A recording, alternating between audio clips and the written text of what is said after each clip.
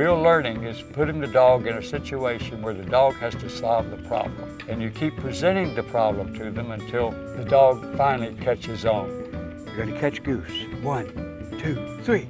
Just like us as humans, there's a need for rehearsal until it gets into the long-term memory. Drop. You drop. Good girl. Go out, go out, go out, go out. So slow. There. Good girl, good girl. Learning builds upon learning. I think that Chaser, as a result of the learning that she's experienced, opens a door to other behaviors and to other situations that enlarges her world.